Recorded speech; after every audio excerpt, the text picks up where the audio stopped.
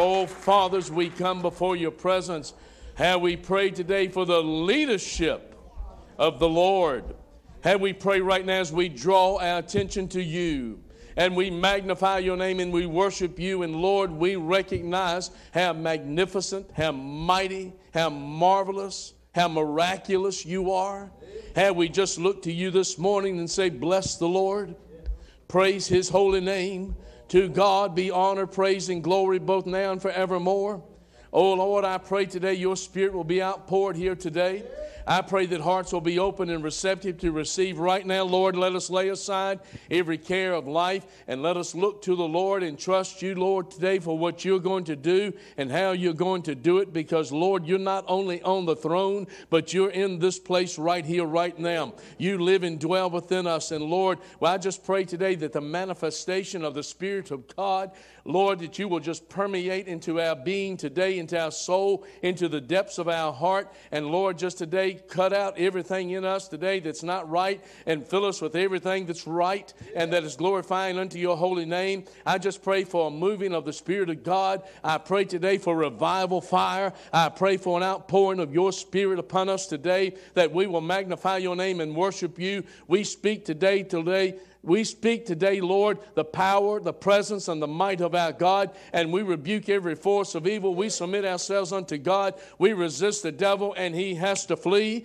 And in the name of Jesus, may the power from on high come down. And Lord, today, may we today leave this place later today saying, Oh my God, it has been good to have been in the house of the Lord. Pour out your spirit now, Lord. Let us magnify your name and worship you. Have your will in your way. We've come to have church. We didn't come to today for a social parade, and we didn't come today to see who made it and who didn't. We didn't come today to try to look pretty or anything else or even smell good. We've come today to worship the one true living God who is high and lifted up and worshiped and glorified. Pour out your spirit upon us today, and may you today be exalted in the name of Jesus. And all God's servants said, Amen.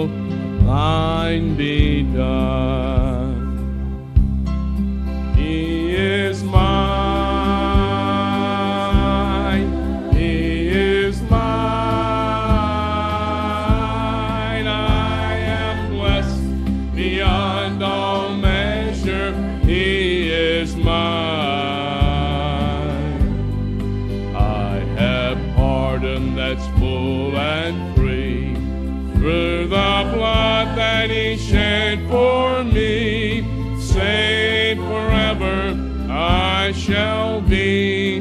He is mine. Now listen. Through God's mercy and his grace, he's prepared for us a place.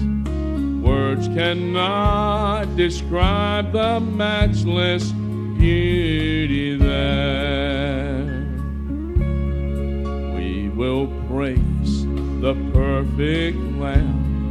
King of kings, he's still the great I am. He has made all the joys of heaven ours to share.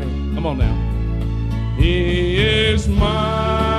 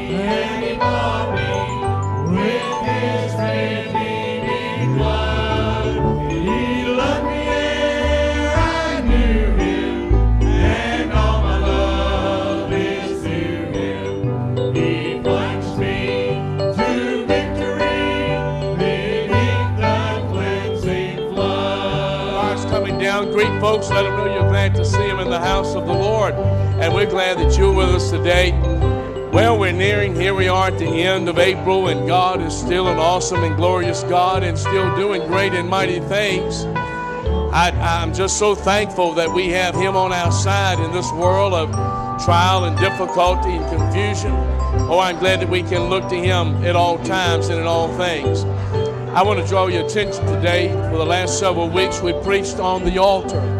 We've talked about getting the church back on the altar. We've talked about getting our families back on the altar. And today we're going to talk about getting America back on the altar. Oh, friend, I still believe in the mighty power of a glorious God who can do exceeding abundantly above all that we can ask or think. I want you to stay tuned to the message today, and I pray it will mightily bless your heart and your life. Also, next Sunday, May the 1st, here at Gethsemane Baptist Church, I want you to be a part of something great. Evangelist, chalk artist, Vester uh, Arnold will be with us, and we're so looking forward. He will actually chalk artist a picture, and then the person that has brought the most visits, maybe it'll be you, can receive that as a gift. But I want you to come and hear the music and also to experience the Word of God through this mighty man of God. That's next Sunday here at Gethsemane Baptist Church. 10:30 is going to be that worship time. Then on the 22nd of May, Bob Lee will be on the platform of Gethsemane preaching and some good things happening in God's house. Well, I just know that God's an awesome God and doing great and mighty things. And He'll do something in your life tremendous if you'll just let Him do it today. We're going back to the music. Come worship with us at Gethsemane. We would be honored, delighted, and blessed to see you in the house of the Lord. Now let's go back to some great music. We do have victory in Jesus. Amen. Praise the Lord. Well, I heard about his healing,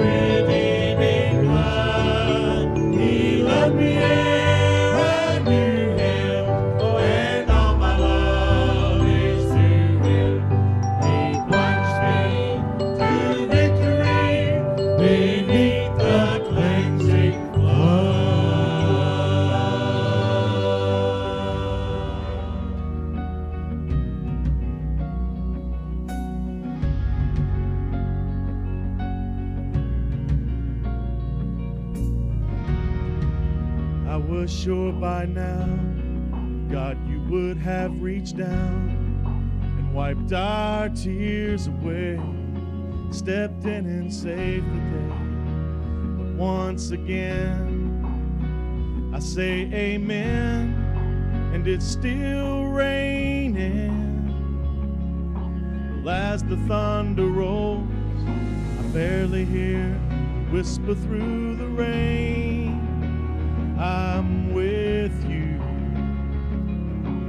As your mercy falls, I raise my hand, and praise the God who gives, takes away. And I'll praise you in this storm, and I will lift my hands.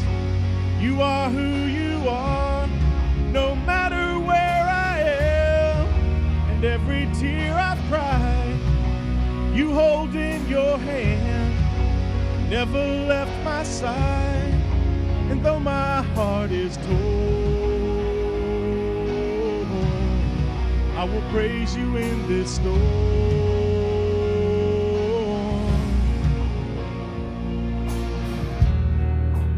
I remember when I stumbled in the wind. You heard my cry and you raised me up again. Strength is almost gone. How can I carry on if I can't find you? Well, as the thunder rolls, I barely hear you whisper through the rain. I'm with you. And as your mercy falls, I raise my hands, praise the God who gives takes away. And I'll praise you in this storm, and I will lift my hand. For you are who you are, no matter where I am, and every tear I've cried, you hold in your hand. You never left my side, and though my heart is torn, I will praise you in this storm.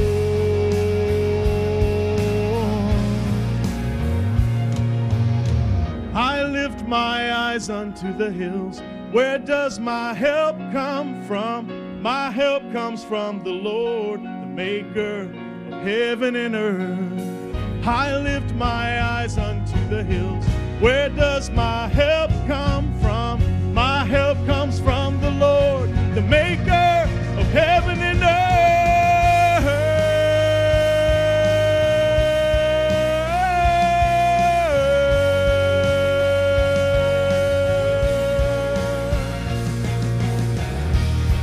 And I'll praise you in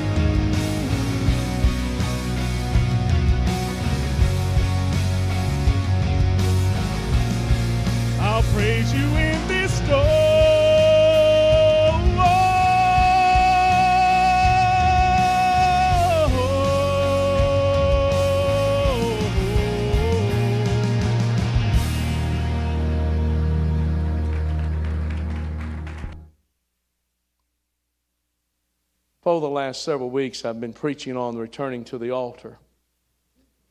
It's been some pretty strong messages from the Lord. I've talked about returning to the altar, the church. I've talked about returning to the altar, and last Sunday on the family, and this altar was double deep with people praying for their families. And today, from the book of First Kings, I want to pray today for, uh, preach today on the return to the altar for our nation, America. And you know, I chose this particular picture slide to use because standing in the Jefferson Memorial is a man that, of course, was one of the founding fathers of our country, Thomas Jefferson. And, and it was very instrumental. And then people like Patrick Henry, who declared and said, Give me liberty or give me death. And the other founding fathers that we have admired and looked up to through the years. But you know, recently and over the last several years, it's been said for America that America is no longer a Christian nation. I, re- I refute that. I, I still believe that there's a fiber in our country today called Christianity that still believes in the Word of God, Jesus Christ, the atonement, and the way to heaven is through the blood of Jesus and what He has accomplished for us. Through the history of our nation, and we go back even to the days of the Civil War and the world wars of one and two, and we talk about and we consider also the conflict that we had in Korea, and then the many lives that were lost in Vietnam, and then the battleground in the Mid East that some of you have had, and uh, kids and grandkids on those battlegrounds, and even have them there now. Our nation has endured tremendous conflicts through time, and our nation has encountered a lot of struggles and a lot of trials. But today we face a new storm, ladies and gentlemen. It's not so much on the foreign battlefields of warfare, but today we're in a new conflict. We're in a new battle today. And, and, the selling out of morals and the selling out of standards today are principles that has become basically like a cancer. And that each day is destroying the very fiber of our republic called the United States of America. We see every day and we hear the rhetoric, and I mean everything from transgender bathrooms to you name, I mean, how, how bad have we gotten in America? How pathetically sick have we become? I mean, we have totally disengaged the power of God's Word from the influence in our society, in our schools, in our culture. And the sad thing is, we've even disengaged the power of God from the church house and our homes. And we wonder why our nation is in the condition that it is in. We have, as we have talked about Israel turning their back in rebellion against God, we have faced that same circumstance in our life today. Now a new plea rings across America. A change is needed. And young folks are flocking to it by the droves. This thing that basically has the appearance, the taste, and the feel, and the influence of socialism. And folks, today, I assure you today, a change is needed. But it's not socialism in what we need. What we need a change today is we need today for a change to liberate this society that has become godless and has turned their back away from God. We need today a coming back in America. We, we need today in America to return we need to return today to a Redeemer who made a way where there was no way. We need to go back to what Jesus has accomplished for us through the pages of God's Word and remember today that He has brought freedom through the blood that He shed at Calvary. We need to return to the Redeemer. We need to return today to righteousness. Righteousness is right living. We need to get back to living right for God. We need to abandon this lifestyle that we've embraced today. That basically sin is exalted and God is pushed in a closet somewhere. It's time today that we deal with the sins of our life and repent and get right with God. We also need today a return to repentance. See, the greatest need today that lies within our nation, but may I say, basically, more importantly, lies within the confines of the church house. We need for Christians to start repenting and getting right with God. God can't even move in the church house because we've let sin infiltrate our lives and we've chosen lifestyles today that are not honoring unto God. And then we wonder why our churches are ineffective. We wonder why our homes are falling apart. It's because we have abandoned today the God who founded us in a mess but brought us out of that mess. Amen. We need a return today to renewal. We need a return today to respect. We need a return today to revival. Amen. We need a return today to the resurrected King of Kings and the Lord of Lords, the Lord Jesus Christ. We've got to get back to God. Amen. So we're living in an era today that there's, you know, basically on the forefront that's seeking to basically tear apart that which once was that made our nation great. We have abandoned these things today. Looking in the past, we've seen God with us through the dark valleys that we have encountered and faced in life, and the intensified storms that we have gone through, and even the hard places of life that we've had to face. But because people with convictions and people of faith that they have in God, the valleys became victorious. Hallelujah. And not only that, but the storms became a strength that even through the storm, that we are strengthened in the power of God's word and God's presence in our life. Amen. There's a day when we thank God for the blessings that He sent. But today, people stand and they curse God in His name. God help them. May the mercy of God have mercy upon their soul. Amen. But see, today there's a debate there's a debate today, even if there is a God. And, and folks, in 1837, Congress passed and adopted a motto and placed it upon the coins of our nation called In God We Trust. Well, really, that was a declaration of what we believe. We believe that we trusted God in all things and that He was the focal point of our life and He was what our life was all about. But see, when you start blaspheming the name of God and you start casting His name around and you even say there is no God, then all of a sudden the trust that you once had has diminished, disappeared, and is gone. And that's why we're living now in a generation well, I, you know, I'm really not surprised at anything that comes out of Washington. I'm not surprised at anything that the Supreme Court today embraces and endorses. Because basically, it seems like the spirit of, of an abomination, of being a reprobate, has taken over the mindset of those who are making decisions for our nation. In recent years, we've seen the Supreme Court vote to remove prayer and the Ten Commandments from our education system, meaning the erosion of in God we trust as a people. I mean, slowly and methodically, they're chiseling away of removing every evidence that there is a God. Let me tell you what, they can take him off of buildings, they can remove him out of prayer, they can take him off of the things of the Ten Commandments in the courtrooms, they can say everything they want to say, but the fact of the matter is, they cannot remove God from the throne room of heaven because he is, because he is still on the throne, he is still in charge, and there's something else that they can't do. They cannot cut Jesus out of your heart and out of your life, if you crown him Lord of your life and received him in salvation today, all the demons of hell cannot remove from you the power of God that lives and dwells within you. Amen. The power of God is for you, and the power of God is with you today. Amen. So, what happens? We've seen this erosion take place. Children will become what you raise them to be. Do you get that? Your children will become what you raise them to be. And folks, today we are raising a generation of godless, godlessness, a godless generation.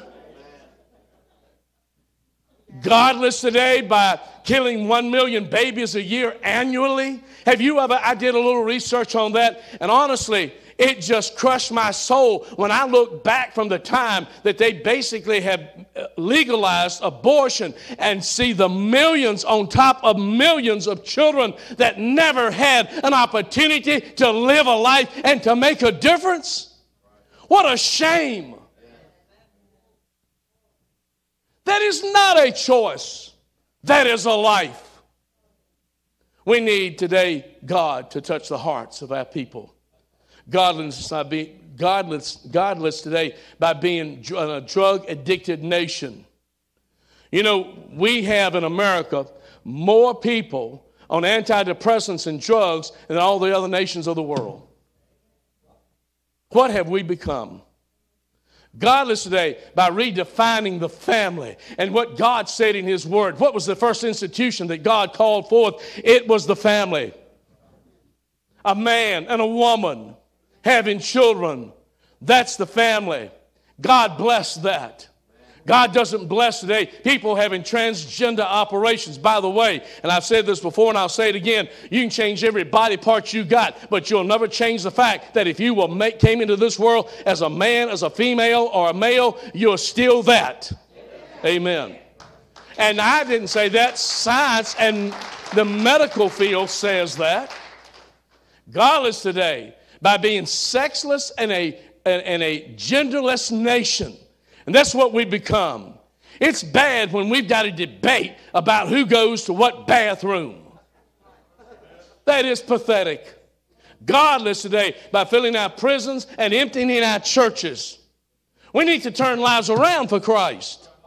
Godless by embracing today gay pride parades today and being then offended when someone prays in public godless by 65% divorce rate in America. That means only 35% of marriages survive. Where have we gone? What have we become? 54 years, think back. And this mess really started in what we're in, and I hate to say it, in my generation. You go back to Woodstock, you go back to all this free love, free sex, free drugs, everything else that's going on. And now here it is 54 years later, and what have we got?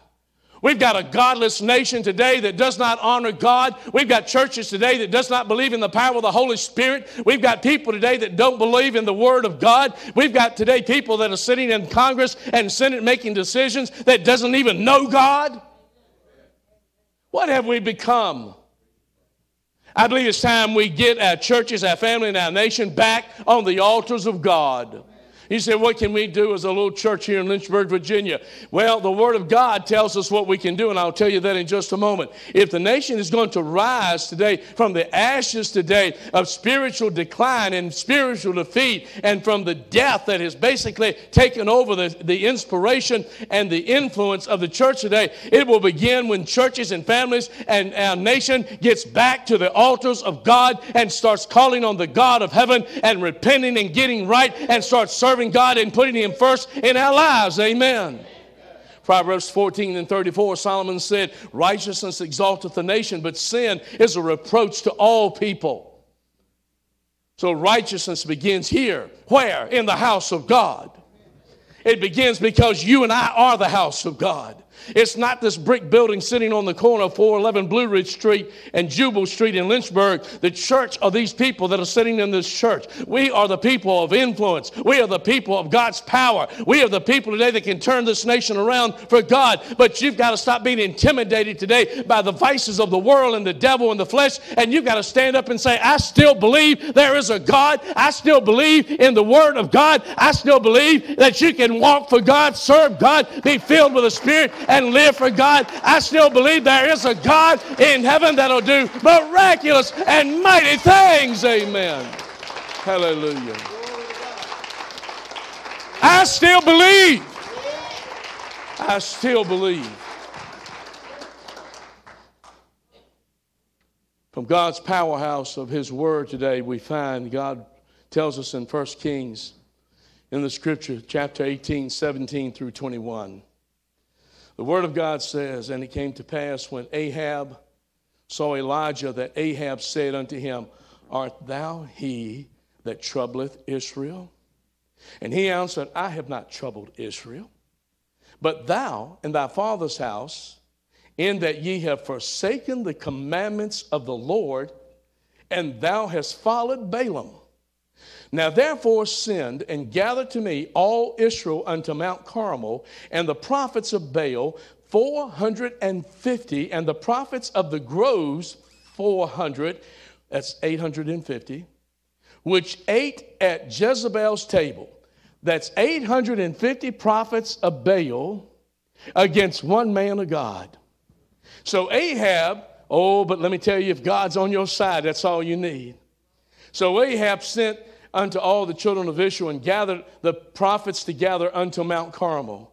And Elijah came unto all the people and said, How long halt ye between two opinions? If the Lord be God, follow him. But if Baal, then follow him. And the people answered him not a word. Now go down to verse 30. And Elijah said unto all the people, Come near unto me. And all the people came near unto him. And listen to what he did. What does it say? And he repaired the altar of the Lord that was broken down. Let's read that together. It's on the screen if you don't have your Bible. Let's read it together audibly out loud. And he repaired the altar of the Lord that was broken down. God is always faithful to keep his word. He be assured that when you turn your back on Almighty God, you must prepare to live with the consequences of your choice. And folks, today you cannot turn from the light of the world and not face darkness. You can't live any way you want to live. God holds you accountable to His Word. God holds you accountable to heaven today. God holds you responsible to every soul and every person that crosses your path. God holds us accountable how we treat His Word, how we live for Him. And so, therefore, today we better get in a position of taking seriously what God's Word says. You cannot turn today from the light of the world today and think you can get by and live in sin and do anything you want to do. You can't turn from the rock of ages today that is unshakable and sure without being crushed by this same rock. You cannot turn today from the Prince of Peace without facing a world filled with fear. My God, this world is fearful, but praise be unto God, the redeemed of the Lord have the peace of God that surpasses all understanding. Amen. Glory. Today, realizing this, when you, when you turn your back on God, that is a love that you will be filled. And you know what? You will now no longer love God, but you will be filled with the hate of the devil in your heart and in your life. There's a solution. If you turned your face away from God, why don't you turn back to God with repentance? I'm glad that his arms are open. He says, Come unto me, all ye that labor and heavy laden, and I will give you rest. He said, If you'll come to me, I will restore you. If you come to me, I will revive you. If you come to me, I will forgive you. If you come to me, I will take your life and turn it around. If you'll come to me, why are we staying in the same mess that we're in when there's a God who wants to bring us out to the land of plenty that he has for us if we will simply serve God? Amen. Amen. Praise the Lord. Turn back. Turn back to the God of Abraham, Isaac, and Jacob. Turn back to the God who loves you with an everlasting love. Turn back to God who makes a way in our life where we had no direction. Turn back for God because He's a God of restoration. Turn back to God for the repentance that He will provide. Turn back to God because only He can forgive your sins. Amen turn back for revival. And I believe it's time that we turn our homes, our church, our nation back to God. If you want joy, you're going to have to turn back to the one that gives joy. If you want hope, you're going to have to turn back to the God of all hope. Hallelujah. He's still the way, He's still the truth, He's still the life. Thank you, Jesus. Amen. It, it, it's time that we, you know, declare as Joshua, as I brought out last week pertaining to the family, it's time that we declare as he declared, as for me and my house, we will serve the Lord. I don't care if the devil likes it or not. I don't care if the government likes it or not. I don't care if the world likes it or not. I don't care if my neighbors like it or not. As for me and my house, we will serve the Lord and remain faithful unto him. You know, things are only, get, only going to get better when we turn back to the God who can make it better. Amen. I think about David in Psalm 51, and David had transgressed God, and David had gotten away from God, and David's life was full of sin. He was separated from God. And here's the man after God's own heart who had walked with God, who had felt the blessings of God, who had done miraculous things by God's help, and then all of a sudden he gets into sin because he got his eyes on Bathsheba. He committed a sin with her. But thanks be unto God, God is a God that will restore you. And the word says, and this is a selection of scriptures from Psalm 51 Have mercy upon me, O God, according to thy loving kindness, according to the multitude of thy tender mercies, blot out my transgressions. Woo! My God, could you imagine if the church got on the altars and prayed a prayer like that? Hello, y'all. Wash me thoroughly from my iniquity and cleanse me from my sin. Create in me a clean heart, O God, and renew a right spirit within me. Restore unto me the joy of thy salvation and uphold me with thy free spirit. Amen. Good God Almighty. Can you imagine if that wave of revival, that wave of repentance, that wave of coming back and calling on God would hit the church today? I believe it would then spread to our families, to our communities, to our nation, and I believe God can birth a revival. Amen. Now, you look back through the pages of time and you look back through the places and times that God brought about a revival. Now, I know that many are saying today, well, we're beyond that, and all I'm doing is sitting on ready to go see Jesus and I'm waiting for the call. Well, what are you doing until He comes? It's not about sitting and waiting, it's about being active in your, your service to the Lord. I mean, can God count on you to witness? Can God count on you to live a life that is exemplary of the Word of God? Can God count on you to separate yourself from the world? Can God count on you to be filled with His Spirit and to live a life that will glorify Him and touch the hearts? But see, today, we're choosing today, we're trying to be, well, we've coined this phrase of political correctness. I, I tell you what political correctness is it's choosing the way of the world and not the ways of God. So we use the flowery words and try to tie politics to it. No, what it is, you're choosing the ways of the world over the ways of, the God, of God. You've chosen a more convenient way. You choose the shortcuts in life rather than today being in it for the long haul. I mean, bless God, going all the way for Christ living, whether it's good or whether it's bad, whether the sun is shining or whether it's a torrential downpour of problems in your life, you still remain faithful, consistent. You're remaining in, as exactly what Paul said in the closing chapters of his life that he had fought a good fight, he had kept the faith, he had finished the course. God's looking for people with that mentality and that spirit and that tenacity and that determination and that power in their life today. Amen. Come on. If God's going to heal our land, He's got to heal our lives first. Amen. Oh God, send a revival, wake America up. Why doesn't He wake us up? I mean, it's going to have to start somewhere, right? Elijah cried out, and we too should cry out, How long will you halt between two opinions? That's what I'm putting before you today. If the Lord be God, then follow Him. If He be God, then follow Him. We've got a God who never fails. And when it comes to turning back to God, prayer is the most powerful way that you can turn back to Him. You must pray believing. Oh my God. Second Chronicles 7:14, if my people which are called by my name shall humble themselves and pray and seek my face and turn from their wicked ways, he said, then see the things that you've got to do. Then will I hear from heaven. I will forgive their sins. I will heal their land. Thank God today. You know, God's about ready to do that, but He needs some people that'll get on altars today and get their homes and get their lives and get the church back where it should be with God, and that we start and we seek God and serve Him first and foremost in every fiber of our being today. That today we will not be distracted, we will not be denied. Come on, church. Praying to God is how we solve our problems. You know why some of you can't solve your problems? Because you won't pray. You know why some of you can't solve your problems? Because you won't submit. You know why some of you can't solve your problems? It's because you won't follow the Lord. You won't believe. You're just going through the motions. Well, I'm a Christian. Well, show it. If you got it, live it. If it's real, stand up for it. Amen. If you really believe today, be the person that God's called you to be. Amen. Go on and stand to your feet. Jack, you're about ready to jump up and give the Lord a shout of praise. Go on and do it right now across this congregation. It's about time we do that. Amen. Thank you, brother. Praying solves problems. Amen. The effectual, fervent prayer of a righteous person will avail much. Pray without ceasing. Call unto me, and I will answer thee and show thee great and mighty things which thou knowest not. I'm going to tell you if God's going to work and God's going to move, it's going to take people getting on the altars and start praying and believing God for what He can and what God will do. Amen. Hallelujah. Thank you, Carl.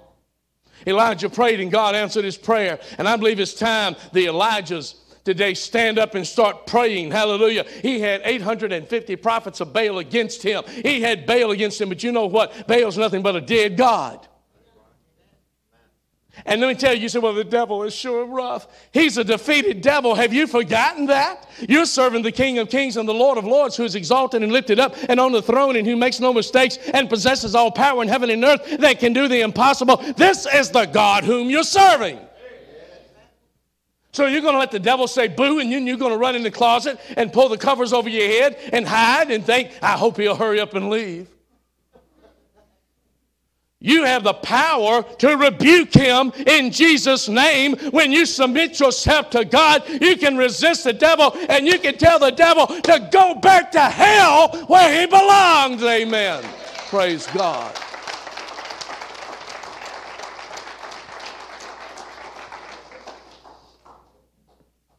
Times of Elijah, Ahab, Jezebel were pagan perverts. Jezebel said, well, Baal was God. And, and the children of Israel, they knew better. Un- understand this God has never been dethroned. As a matter of fact, the devil got his butt kicked out of heaven by trying to exalt himself above the throne of God. Read it in Isaiah. Elijah had stood before King Ahab. And he declared, he said, just a moment. God sent me to you with a message. And it's not going to rain for three and one half years. Well, you know, no rain, no crops, no grass for the cows, no water to drink. That's not good. You can go without food, but you can't go without water. And in 1 Kings 17, Elijah gave a three point message. Let me, let me give it to you real quickly, and I'll just give it to you in bullet form. He said, As the Lord liveth, you know, God has unshakable power. As a matter of fact, He is all power today and possesses all power in heaven and earth. The Word of God says. Second thing He says, before whom I stand. See, you either stand with God or you stand against God today. You can't be, and you know, the Word of God says in Revelation 3, He talks about the lukewarmness of the church of the Laodicean church age in which we're living today. And He's saying, you know, listen, you can't, you can't be in a gray area. You either for Him or you're against Him. You can't not today to live this thing of trying to please people on both sides of the fence. You can't please the world and please God. And when you stand before God, you can declare, Hallelujah. And when the devil comes at you, you can stand and you can say, If God then be for me, who can be against me? Amen. Then third, thou shalt, it shall not rain for three and a half years. And he said, according to his word. Whose word? God's word. Amen. So when you believe, you know, when you believe, then you can take what you believe and you can start speaking it to what you're facing. Some of you are going to come in here tonight and you're going to depend on me to try to get you out of what you're in. I'm going to, I'm going to give you a disclaimer right now. I can't get you out of anything, but He can. You don't have to be dependent upon my prayer or anybody else's praying in this room or this church. Do you realize that God's giving you today the principle of calling upon Him and He'll answer you? Amen. So don't come in and I say, I'm going to get that Duck to pray over me and anoint me with oil, and I know everything's going to turn around. If that's your mentality, I'm going to tell you what, you're wasting my time and yours too. Because I can't do it, but He can. But I have no problem with anointing you and praying over you and believing. But you know what? You can't hang on to my belief. You've got to have your own. You've got to believe what God said He will do. You've got today to believe without wavering. You know, you've got to trust God regardless. And I made a statement a few moments ago before Robbie sang, and I told you that sometimes you pray and you think, well, I just know it's going to show up right now. And it didn't show up. Then you get defeated, you get discouraged, and you walk out and you say, I guess God's not going to do it. You're right, He's not because you won't believe. Sometimes God's going to take you a little bit deeper into the valley before He sits you on top of the mountain. And you've got to trust God today that God can do all things, and He does them with His power, His might, and His miracle. Amen. So you've got to learn to start speaking the Word of God. You've got to stop today speaking what you think, what you feel, and what your opinion is, and you've got to speak the inerrant, infallible, inspired Word of God today that still stands and is anchored in heaven and still will change your life. Amen. He will keep you in perfect peace whose mind is stayed on you. That's what He said. You can declare with His stripes, I'm healed. Amen. Oh my God. I'll tell you something about that tonight. I'm not going to tell you now. Tell me now. Nope. The Lord is my shepherd, I shall not want. The Word of God declares, Let the redeemed of the Lord do what? Sit down and look at the preacher and be quiet? No, you say so. You say so. All right, we're going to get it in a minute. You say so. Speak up to the name of God. Declare His greatness. Give Him the praises due His name. Get out of this acclimated position of silence and a pew of comfort today and get back to the altars of God with prayer and praise unto the Lord. Amen. So the same question is at your door. How long will you halt between two opinions? Israel chose to bow before the false gods and the gods of Baal. And the people of our nation has done the same thing. Jesus said today, no man can serve two masters. Either he will hate the one and love the other, or he will hold to one and despise the other. You cannot serve God and mammon, God and the world, God and the devil. But seek ye first the kingdom of God and his righteousness, and all these things shall be added unto you. So how long will you falter between the word of God and the world? I believe it's time to return to the altars of God. I believe it's time today that you can walk in the light and you don't have to be today no longer in the darkness. I believe today that you can be born in truth today and you can be delivered from the bondage that's got you held up today. There's only one who can set you free, and his name is still Jesus Christ, the King of glory, and he is still performing miracles and he can still do the impossible. Hallelujah. It's in the blood of Jesus that doors unlocked to freedom because Jesus says, For whom the Son sets free is free indeed. How long are you going today to continue to live like you're living? Well, I just can't find the way out. Oh, your way out's right here. Your way out is Him. Your way out is this. Hallelujah. Got it? Amen. How long today are you going to stay like you are? Well, I'm trying. It's not going to work because you're trying. Why don't you let God do the work in you that He desires to do? How long today are you going to turn from God and turn today to the world? Well, you know, life is sweet, short and sweet, preaching. You got to get all the, uh, well, whatever out of it. The beer makers say get all the gusto out of it. Well, I tell you what, I don't need something that comes in a can or a bottle to fill me up with an unholy spirit. When I got one that's filled me up with a Holy Spirit, that's a whole lot better, and I don't wake up with a hangover. I wake up rejoicing. Amen. How long will you today live like the world and, and try to then? You can't serve God and the world. You cannot serve two masters. Amen. It's God that wants to shine in your life. This is the place that we need to start serving the Lord. And this is the place today. If God then be God, if God then be God, serve Him. Amen. Amen. I believe it's time the church return to the altars of God. I believe it's time we return to the altars of God with our families. And I believe it's time today get our land to return to the altars of God. Elijah took a stand. Are you willing to take that same stand today? You know, as I draw to the end of this message, I got four quick points and I'm through. And you say, oh my God, that's another half an hour? No, it's not. 30 seconds maybe. There are four things we must do Listen, let me, let me just make a little statement here to you. I didn't dream this up overnight. I do a lot of work and research and prayer into what I bring you because I'm serious about what I preach to you. And I'm just going to say this bluntly to you. You need to start getting serious about what you're hearing from the Word of God. I wonder next Sunday you're going to pay attention now. That if I asked you next Sunday, what was my scripture reference and what did I preach on last Sunday? Would you be able to tell me? Don't tell Cynthia to put it back up on the screen so you can see what it is. Don't run over and say, What was that scripture reference he said? No, you need to receive the Word of God. I've never been more serious about that because I'm going to tell you right now, we don't have much time left. And if we're going to get right, we better get right now. You can't put this off to next Sunday. You can't put this off till tomorrow. You can't put it off until tonight. Because of what God's going to do here tonight, you've got to get your heart, your soul, and your life cleaned up for God and get purged and cleansed of your sin and put Him first.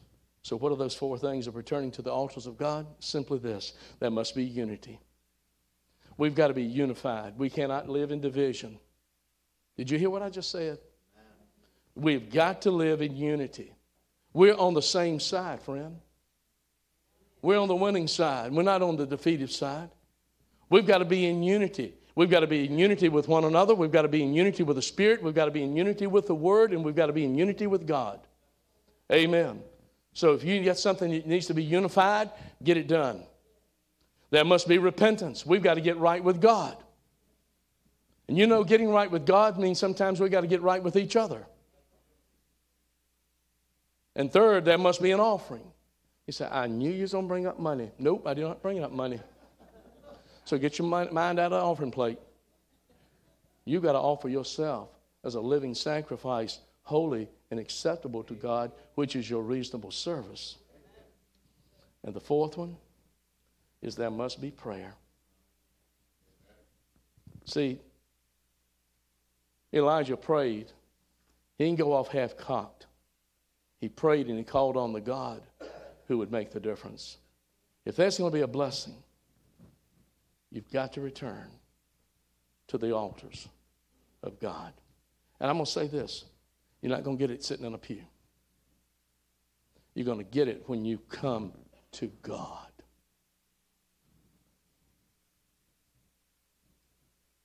When you come to Him in humbleness, when you come to Him in dedication, when you come to Him even broken. And I really think that's where God wants us. We've got to get broken before He can strengthen us and renew us and restore us. We've got to get broken of who we are and broken for what's got control over us and become what God's called us to be. And it starts here. And it starts here. Your heart. You've got to get your heart and your life on the altar of God. Would you bow head a moment? I didn't mean to preach as long as I did, but I'm not going to apologize for it because I gave you what God gave me. Are you sure you're saved today?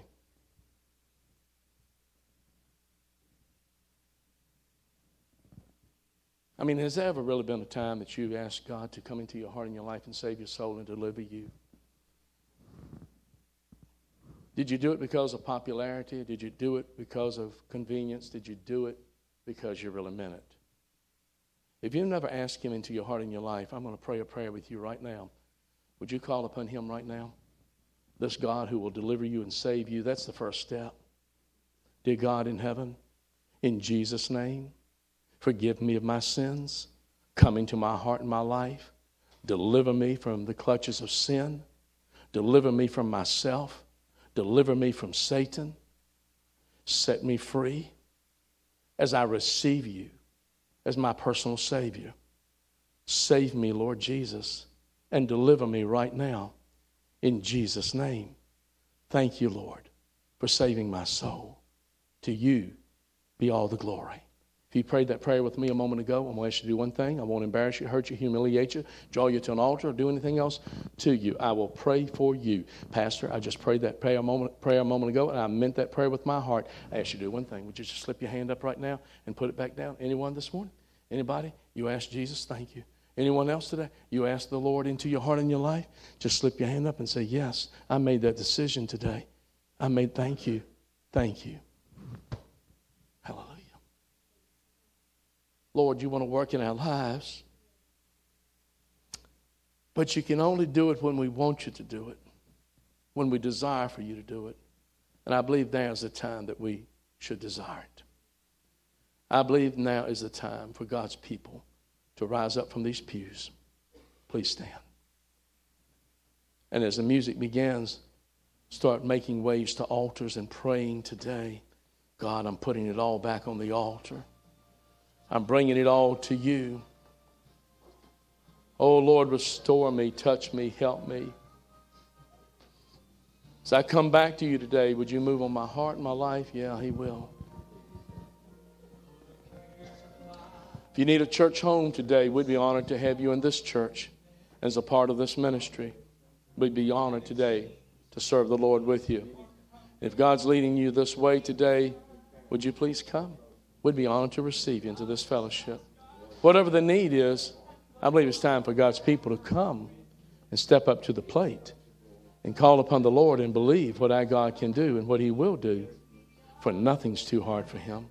You come.